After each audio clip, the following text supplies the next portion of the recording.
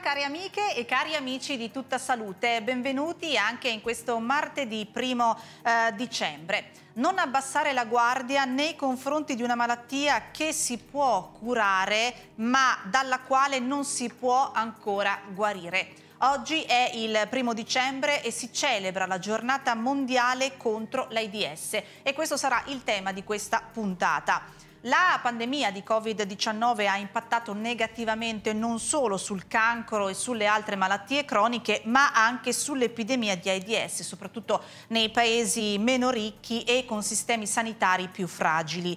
Per questo il tema della giornata mondiale contro l'AIDS di quest'anno è solidarietà globale, responsabilità condivisa e l'Organizzazione Mondiale della Sanità richiama l'attenzione di tutti eh, su questo problema e sulla necessità di una solidarietà che sia diffusa e appunto non locale. In Italia i nuovi casi sono in calo dal 2012, ma stanno crescendo purtroppo le diagnosi tardive. Eh, ben il 60% delle persone scopre di avere la malattia già in fase avanzata. Allora noi accenderemo il riflettore sulla nostra realtà emiliano-romagnola, nostra realtà romagnola, con il nostro ospite di oggi che sono molto contenta di avere qui perché si collega direttamente dalla uh, corsia e quindi è, è molto prezioso averlo con noi, il dottor Andrea Boschi, infettivologo, responsabile della struttura interdipartimentale gestione infezione da HIV dell'AUSL Romagna. Benvenuto dottore, grazie davvero. Buongiorno a tutti. Grazie dottore. Allora io direi di vedere subito, ehm, di ascoltare insieme a lei un servizio con eh, i dati del report eh, annuale realizzato dal Laboratorio Unico di Pieve Sestina dove esiste un registro delle nuove diagnosi di infezione da HIV che è costantemente aggiornato dal eh, 2010. Allora noi sentiamo un po' di dati e poi torniamo insieme. In Emilia-Romagna, in dieci anni, dal 2010 al 2019, le nuove diagnosi di HIV tra i cittadini residenti sono quasi dimezzate, passando da 388 a 209, quindi un meno 46%. Sono 165 uomini e 44 donne. Nel 2019 sono state 22 in provincia di Rimini, con un'incidenza di 6,5 ogni 100.000 abitanti, che resta comunque la più alta in regione. I nuovi casi rilevati sono 47 a Bologna, 30 a Modena, 24 a Ravenna, 22 a Parma e Rimini, 21 a Forlì Cesena, 20 a Reggio Emilia, 13 a Piacenza e 10 a Ferrara. Le persone giunte tardi alla diagnosi sono state 122, 59 invece i residenti emiliano-romagnoli che hanno sviluppato la malattia conclamata, quindi l'AIDS, nel 2019. Tra le persone sieropositive il 74% è maschio, il 31% ha dai 30 ai 39 anni, il 68% è italiano. La classe di età più colpita è quella tra i 20 e i 49 anni. I casi di sieropositività sono invece modesti tra i più giovani e negli ultra cinquantenni. L'incidenza tra i maschi è 11,4 casi ogni 100.000 abitanti, tra le femmine è 3,8 le persone straniere con HIV sono poco meno di un terzo del totale, sensibilmente più giovani rispetto agli italiani e prevalentemente di sesso femminile. La modalità di trasmissione principale, l'88%, è quella sessuale. Il 47% di tutti i casi è dovuto a trasmissione eterosessuale e purtroppo la percezione del rischio tra gli eterosessuali è molto bassa, al momento della diagnosi il 43% delle persone era già in AIDS o in una fase molto avanzata dell'infezione. In Emilia-Romagna chi esegue il test HIV può fare gratuitamente anche il test sierologico per evidenziare la presenza di anticorpi al coronavirus.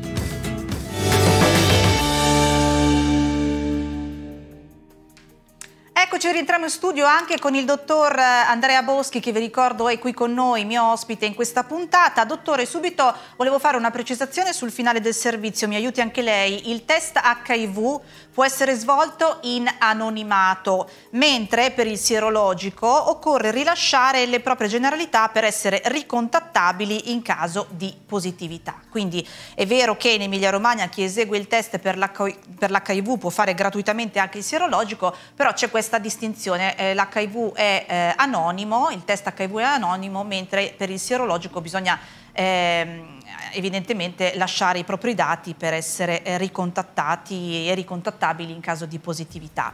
Dottore, eh, me lo dice lei dove si può fare il test? Così diciamo subito le questioni pratiche.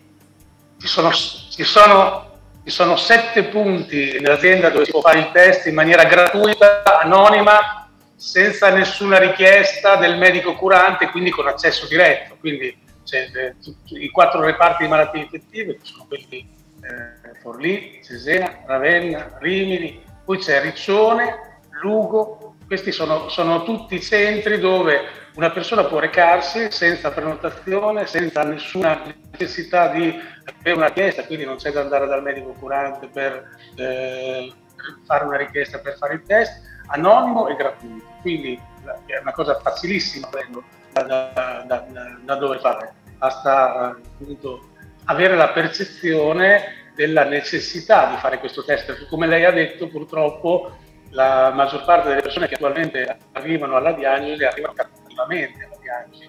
E questa è una sconfitta, una sconfitta della, eh, in tutti i sensi, una sconfitta per la persona perché adesso ci sono delle terapie estremamente efficaci. Consideri che la, l'infezione da HIV adesso è un'infezione cronicizzabile, l'aspettativa di vita di una persona con l'infezione da HIV è pari a quella di una persona che non ha l'infezione da HIV si viene curata in maniera adeguata. Ecco, quindi in questo senso, dottore, le cose sono, sono molto cambiate. Ad oggi l'aspettativa di vita di una persona con HIV è pari eh, a quella insomma, di una persona che non ce l'ha, possiamo dire così? Ass assolutamente sì, i dati ci dicono questo e quindi questa qui è la prima cosa. La seconda cosa, altrettanto importante, è che una persona con l'infezione d'HIV che si cura e si cura bene, cioè fa una terapia efficace, non trasmette più l'infezione a nessuno, in nessun modo. Quindi ha una doppia valenza, cioè noi siamo partiti, io quando ho cominciato a fare questo lavoro, l'HIV è un'infezione mortale per chi l'acquisiva, è un'infezione che si trasmetteva. Adesso le, tutte le persone che sanno di avere l'infezione da HIV, che si curano, hanno un'aspettativa di vita come le altre persone e purtroppo succede che muoiono per altre cause come tutti noi e non trasmettono l'infezione. Quindi immagini come è cambiato completamente lo scenario per questa cosa, per cui ogni diagnosi non fatta è una, una sconfitta dal punto di vista individuale, perché quella persona avrà delle conseguenze, ma anche dal punto di vista sociale, perché quella persona purtroppo non sapendo di essere HIV positiva non si cura e non prende delle precauzioni per non trasmettere l'infezione agli altri. Ecco dottore, ogni diagnosi non fatta è una sconfitta, lei sa benissimo perché eh, vive tutti i giorni in corsia che questo 2020 è un anno completamente diverso dagli altri proprio a causa di questa pandemia che ha influenzato l'accesso ai servizi sanitari, quindi da gennaio ad oggi, stiamo parlando del 2020, le nuove diagnosi eh, in Auslo Romagna eh, sono diminuite e questo vi preoccupa anche alla luce di quello che ci ha appena detto lei? Cioè non è un motivo di gioia, anzi il contrario. Ci preoccupa molto perché non so, sono calate le diagnosi, ma sono calati i test. Cioè, noi quest'anno nei sette centri dove si può fare il test eh, diciamo così, in maniera anonima, dove, dove, noi facciamo la metà delle diagnosi circa per tutti gli anni, dove avvengono le persone che hanno la situazione di difficoltà, abbiamo fatto la metà dei test, proprio perché l'accesso a questi ambulatori quest'anno è stato più difficile, come l'accesso a tutti i servizi sanitari. Eh, ci consideri proprio che noi delle malattie siamo proprio coinvolti in prima linea sul, su Covid, quindi siamo tutti impegnati su questo. Abbiamo ridovuto di nuovo chiudere il nostro day hospital, chiudere, ridurre di molto l'attività del nostro day hospital perché per eh, recuperare medici, per recuperare infermieri, per far fronte alla pandemia, alla seconda ondata che, che, ci è arrivata addosso. Quindi mm. abbiamo perso dei mesi in cui le persone hanno, hanno avuto più difficoltà ad accedere. Riusciamo a, a, a fronte alla, diciamo così, alle persone che abbiamo in terapia, perché lei consideri che nel, nel, nella nostra azienda abbiamo circa 3.400 persone in terapia pedonale, quindi sono, che sono tutte chiaramente da seguire. Fortunatamente è più facile seguirle adesso perché basta, in quelli che vanno bene bastano due controlli eh, del sangue all'anno e poi dopo se va tutto bene, quest'anno ci siamo eh, ci contentiamo anche di una telefonata o di una mail per dire che va tutto bene e per ecco. eh, mm. confermare che tutto quanto deve continuare come le altre volte. Quindi non, non, siamo riusciti in qualche modo a far fronte, grazie alla tecnologia, grazie a tutte le possibilità che ci sono, a tutti questi fatti. Ma le persone invece che non sono in cura, che non sanno di avere questi cure, stanno magari hanno pensato meno degli altri anni, proprio perché ci sono altri problemi quest'anno. Certo. Dottore, la buona notizia, abbiamo sentito anche nel servizio, è che nel territorio romagnolo dal 2010 al 2019 le nuove diagnosi sono diminuite eh, con un'incidenza che nel 2019 è più che dimezzata, però eh, a Rimini c'è ancora l'incidenza più alta in regione. Secondo lei come si spiega questo elemento? Diciamo così, vediamola in positivo, siamo quelli che abbiamo avuto il calo maggiore, perché eh, dieci anni fa avevamo il doppio dell'incidenza, siamo quelli che abbiamo avuto il calo maggiore. Si spiega perché Rimini ha un polo di attrazione per diciamo così, un sacco di persone che hanno, sviluppano poi un, dei fattori di rischio più alti rispetto ad altri, cioè è innegabile che Rimini, eh, Ripsone, così la Riviera attrae eh, un, sacco, un, sacco, di, di persone che hanno più rischi rispetto ad altri, sia per la, la dipendenza, sia per il rischio sessuale, per cui la spiegazione può essere questa qua. Ci abbiamo pensato in questi anni, non abbiamo trovato un altro motivo perché a Rimini ci debba essere più incidenza rispetto ad altri, ad altri luoghi. Forse perché proprio è un luogo di maggior divertimento rispetto ad altri. Attualmente, dottore, in Auslo Romagna le persone in trattamento sono circa 3.400, mi corregga se sbaglio. E in che cosa consiste la terapia? Beh, attualmente la terapia fortunatamente sono po poche compresse al giorno da assumere una volta al giorno, e quindi una cosa molto facile da fare, tipo me che prendo una compressa tutte le mattine per la pressione, quindi mm -hmm. eh, sono due o una o due compresse da assumere tutti i giorni in maniera, in maniera cronica. È fondamentale l'adesione alla terapia, l'aderenza, una buona aderenza alla terapia perché a differenza della pressione noi combattiamo contro degli esseri viventi che sono i virus che possono creare dei meccanismi di difesa e la terapia se lo so bene e poi non funziona più, ma i nostri i pazienti lo sanno benissimo e quindi eh, quelli che sono in terapia da tempo fanno un controllo degli esami due volte all'anno è tutto molto facile, molto semplice. Eh, l'erogazione della terapia viene fatta direttamente dai centri dove, eh, dove, vengono a fare il prelievo, dove vengono a fare la visita, quindi facciamo tutto praticamente in un punto per cui le persone non debbono tra virgolette esporsi ad altri servizi perché c'è diciamo così sempre la, la, paura di essere visti, di essere scoperti come se mm. fosse una eh, ancora, diciamo, viene ancora vissuto con vergogna che non dovrebbe più essere. Ecco, a questo dottore, a questo aspetto arriveremo, arriveremo più tardi. Le volevo chiedere, visto che abbiamo parlato di diagnosi tardiva, che è uno degli elementi negativi da contrastare, però le voglio chiedere, quando parliamo di diagnosi tardive, di che cosa stiamo parlando? Cioè, eh, quanto tempo passa in media da eh, quando si contrae l'infezione a quando si arriva alla diagnosi? Diciamo così, la storia naturale dell'infezione è diversa in tutte le persone. In media, da, da quando io contraggo l'infezione a quando cominciano i primi sintomi passano dieci anni. Dieci Quindi, anni? Le persone che arrivano con dei sintomi hanno in media dieci anni di, di infezione non, eh, non percepita, per cui non hanno avuto l'idea che avessero questo tipo di problema e non hanno fatto nessun test, nessun esame per accertarlo. E arrivano che hanno, dopo, purtroppo manifestano dei sintomi tali che eh, in qualche modo vengono ricondotti a, a, a, una possibile infezione da HIV. Si fa il test e si accerta. Ecco, dottore, e quali sono questi sintomi? Quali sono questi sintomi che possono manifestarsi dopo dieci anni? Quali sono i campanelli d'allarme? Diciamo che sono, sono, talmente specifici che è difficile dire, però in genere i primi sintomi che compaiono è una febbricola, una perdita di peso in maniera spiegata e poi magari mi viene anche un po' un, tipo un fungo, tipo una candida in bocca, ecco che questi sono i primi sintomi che possono comparire in una persona che diciamo così, non aveva la percezione del rischio. Ecco, in questi dieci ogni anni... Ogni febbricola questi... e ogni perdita di peso, ogni... Anche problemi intestinali? Diceva? No, dicevo, in tutti questi dieci anni la persona eh, che ha l'HIV non se ne accorge, quindi potrebbe... È eh. totalmente asintomatico. To totalmente. Diciamo così. Eh, finché non arriva appunto, eh, diciamo così, che il sistema immunitario comincia ad avere dei cedimenti, perché ricordiamo che l'infezione da HIV provoca quella che si chiama, la malattia che si chiama AIDS, cioè la sindrome dell'immunodeficienza acquisita, vuol dire che le mie difese piano piano vengono distrutte e a un certo punto le mie difese sono talmente basse che arriva qualche patologia, cioè, inizialmente sono delle patologie eh, diciamo così, più banali, poi arrivano quelle che si chiamano le patologie opportunistiche, che si chiamano così proprio perché trovano l'opportunità di manifestarsi in queste persone che hanno difese basse. Usualmente sono malattie che non si manifestano nelle persone con un sistema immunitario normale. Mm.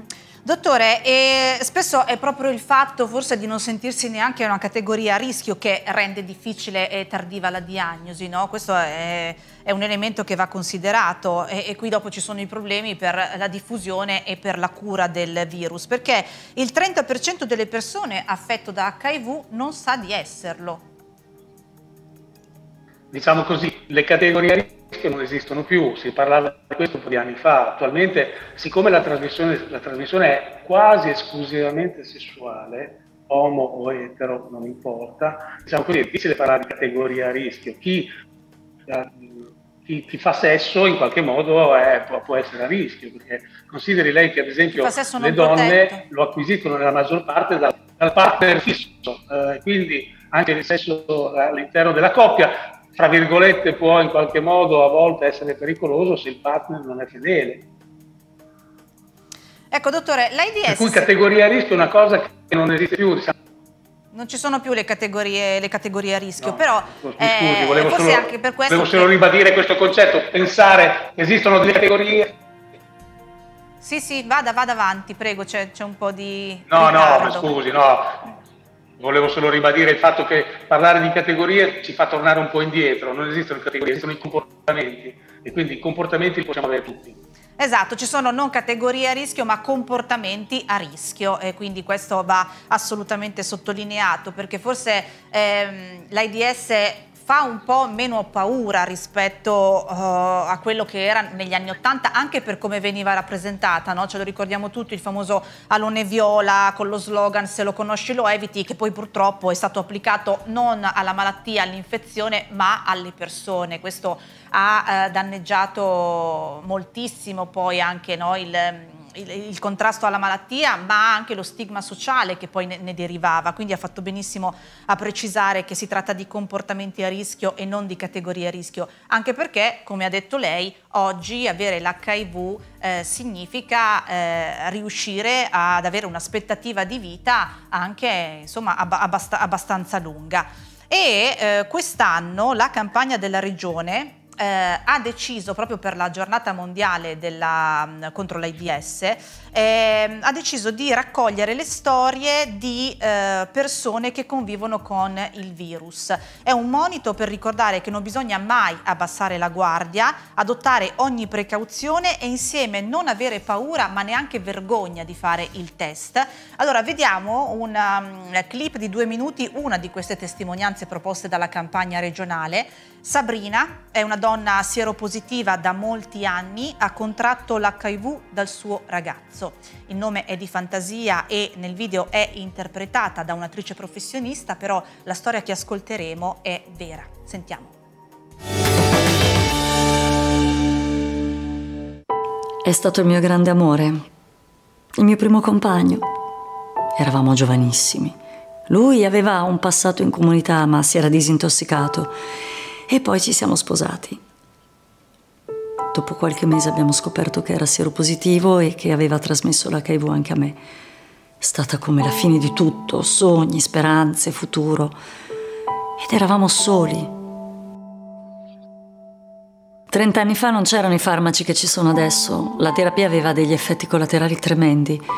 Lui è morto nel giro di poco. Io sono stata fortunata. Sono positiva da tanto tempo, ma ho avuto bisogno di iniziare la terapia soltanto recentemente e oggi è tutto diverso. Le medicine sono cambiate, ho avuto il supporto di una psicologa, sto bene. Ho una mia vita, ho un mio compagno, ho le mie cicatrici, certo, ma la terapia funziona. Mi piace fare camminate, incontrare gli amici e cerco di stare con le persone care il più possibile. Quando ero adolescente mi sono esposta a un rischio di cui non ero minimamente consapevole, dell'HIV si sapeva pochissimo. L'unica preoccupazione in un rapporto sessuale era di non rimanere incinta. Alle ragazze di oggi vorrei dire di stare attente, perché sull'onda dei sentimenti c'è il pericolo di farsi trascinare. Vivere la sessualità, sì, ma con un po' di prudenza, con tutte le possibilità che ci sono adesso di informarsi e di proteggersi. Prendere l'HIV è una cosa che non dovrebbe più succedere. E poi di fare il test perché saperlo subito può davvero fare la differenza.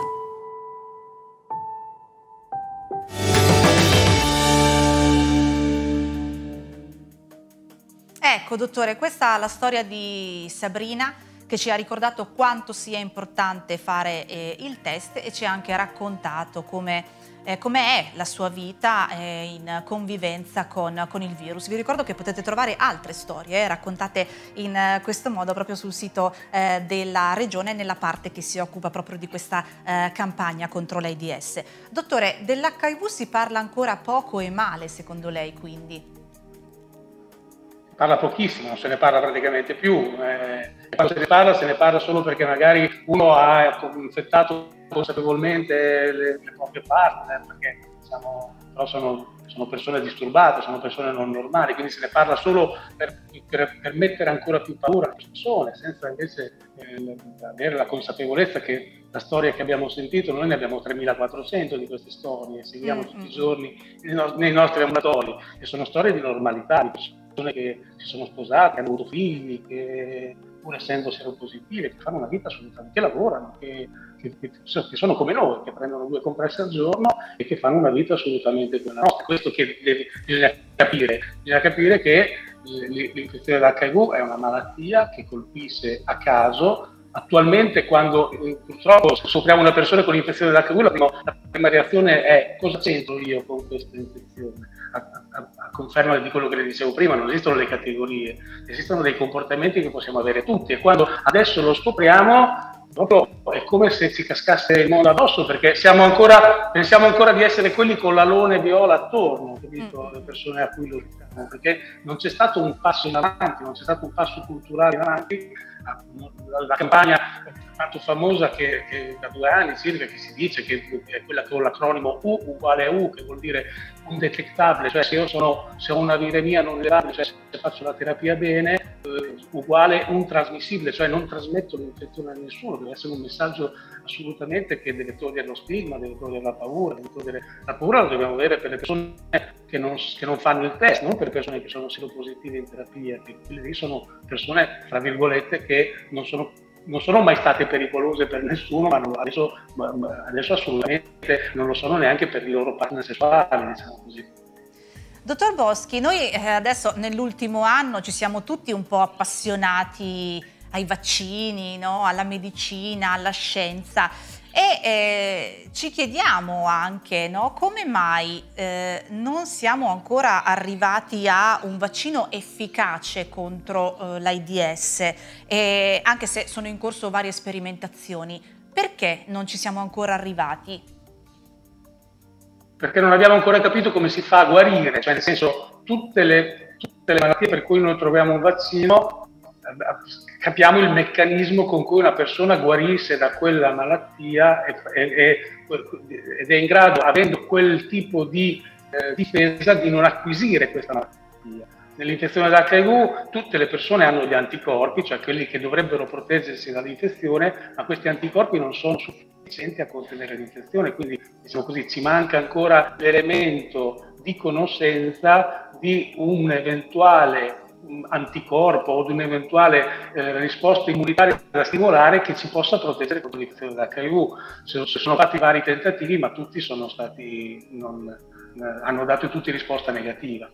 Perché è un virus diverso dagli altri, questo virus, ed è un virus di cui ancora, a parte due casi eh, di guarigioni, ma legate a trapianti di midollo, cose che sono più pericolose della malattia stessa, mm-hmm. non abbiamo notizie di persone che siano guarite. I decessi all'anno, dottore, rimangono stabili intorno ai 500 l'anno, quindi eh, ci sono, è vero, delle di diagnosi sono in calo, però i decessi restano sempre quelli, quindi insomma per dire che eh, di, AIDS comunque purtroppo eh, se presa tardi eh, si continua a morire allo stesso modo. Eh certo, se arriva tardi il problema è sempre quello. Diciamo così, comunque i decessi legati alle infezioni opportunistiche adesso sono molto meno. Sono... Mm. Poi dopo è chiaro che abbiamo delle persone che, eh, come tutti quanti, sono anche più positive, eh, possono avere altri tipi di patologie, per cui ci sono dei decessi che non sono più correlati direttamente col virus. Avvengono in persone positive ma non sono più correlati direttamente la mortalità è molto diminuita, anche se purtroppo si è stabilizzata come se sono stabilizzate le infezioni, eh, le diagnosi tardive delle infezioni, perché quello, quello zoccolo duro lì che non, eh, non riusciamo a raggiungere con, con, con, con la prevenzione, col test, non vengono a fare il test e quindi saranno quelle persone che saranno sempre a rischio perché non tardi alla diagnosi. Ecco, a proposito di test, proprio questo in chiusura vorrei ribadire con lei, dottore, anzi vorrei anche chiederle, siccome c'è la possibilità di fare, come abbiamo detto e sentito, il test HIV e anche il test sierologico per vedere se ci sono gli anticorpi al coronavirus ed è stata questa possibilità data a fine novembre, eh, ad oggi quante persone si sono presentate? È arrivato qualcuno che ha chiesto di fare l'uno e l'altro? Diciamo così, noi purtroppo non siamo in grado in questo momento di ehm, reggere anche alla, all'esecuzione del test per il Covid e questo qui l'abbiamo comunicato alla Regione, siamo in emergenza, per cui tra l'altro il test eh, che, veniva, che, ci veniva detto di fare era quello rapido, il serologico. Un infermiere impegnato, eh, sì, rapido che viene fatto poi cioè, all, direttamente dall'infermiere qui dell'ambulatorio che richiede un quarto d'ora per ogni persona, per cui abbiamo ridotto gli infermieri perché adesso eh, abbiamo tanti a casa perché si sono infettati con eh, col Covid, per cui non siamo in grado di, di purtroppo di fare l'uno e l'altro. Eh, insomma, ci sono tutte le buone intenzioni, però nella pratica non si riesce, quindi non, si, non, siamo riusciti ad attrezzarci per poterlo fare, proprio per carenza di personale, per carenza di risorse. Le risorse che abbiamo ci servono tutte per cercare di stare dietro adesso a queste cose qui e molte cose rimangono indietro, purtroppo. Dottore, in chiusura da lei una sollecitazione eh, ai nostri eh, telespettatori, alle nostre telespettatrici a eh, fare il test e perché è importante il test?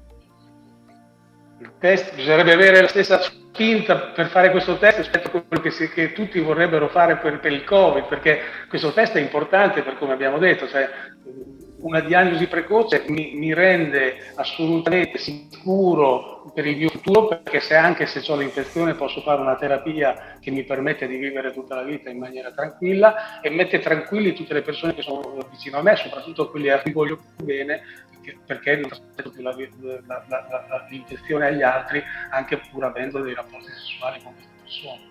Per cui ha questa doppia valenza, come abbiamo detto, individuale, nel senso che io proteggo me stesso e evito di avere una malattia che mi può, può, avere delle conseguenze anche mortali, evito di avere un'evoluzione della malattia anche solo l'infezione ed evito di trasmettere l'infezione agli altri. Dottore, che giorni sono lì in ospedale? Sono giorni duri questi? Sono giorni duri ma si vede un po' di luce, stanno calando i casi e quindi speriamo di, di, di finire anche questa seconda ondata e speriamo che questa seconda ondata ci abbia insegnato che voglio fare il solito virologo che parla di Covid, che ce ne sono anche troppi in televisione, che non, non, una, una, volta finita la seconda ondata non si può fare liberi tutti per, per arrivare poi alla terza, dobbiamo, dobbiamo mantenere diciamo così, queste, questi comportamenti che si proteggono eh, nel tempo finché non ci sarà un vaccino efficace. Ecco, quindi questo è anche un appello, prendiamolo buono anche per Natale, ecco, un Natale eh, sobrio. Mm? Beh, speriamo. Quindi secondo lei questa strategia funziona o quantomeno è l'unica che riusciamo ad applicare, ecco, che ci porta a un risultato per il momento? Ma l'abbiamo già visto anche nel primo, nel, primo, nel primo picco. In questo secondo picco abbiamo capito che funziona anche non un lockdown completo come nel primo picco, perché già i risultati che abbiamo adesso li abbiamo con i risultati di quando eravamo gialli ancora, no? Quindi questo qui è un, diciamo così, è un buon segno, perché vuol dire che se noi impariamo a usare le mascherine, a fare distanziamento sociale, non fare gli agglomerati, non, eh, non, non, non, creare tutte quelle condizioni in cui c'è un sacco di gente eh, se, senza protezioni e lì si ha sicuramente una trasmissione, riusciamo ad affrontare facendo una vita, fra virgolette, quasi normale, finché non arriverà il vaccino a permetterci di eh, avere una vita veramente come, come, prima, come quella del 2019. Mm. Grazie, grazie mille dottor Andrea Boschi, infettivologo, responsabile della struttura interdipartimentale gestione infezione da HIV dell'Ausl Romagna. Grazie davvero per essere stato con noi e per il tempo che ci ha dedicato. E buon lavoro. Tutto a tutti, grazie. Grazie, grazie al dottor Boschi, lo lasciamo tornare in eh, corsia. La puntata di oggi si conclude qui, io vi ringrazio come sempre dell'attenzione, ci vediamo non la prossima settimana perché è l'8 dicembre, facciamo una breve pausa, ci rivediamo eh, settimana dopo, parleremo del eh, tumore al colon. Intanto io vi saluto e vi dico come sempre, abbiate cura di voi.